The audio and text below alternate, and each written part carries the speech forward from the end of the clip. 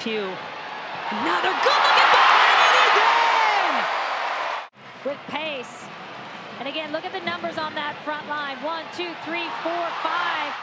Laurie Ogbonna looking for the switch for Kanu.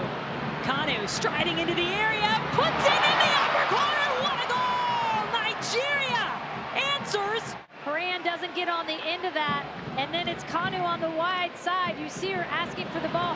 Huerta tries to nip it and play the header, doesn't get it. They've been playing. And the back snap for Rapinoe, making an impact. Liddell, Liddell,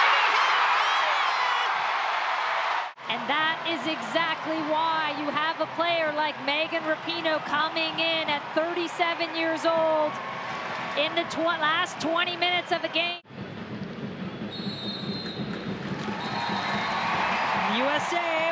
Its 13th straight, although that shutout streak no more.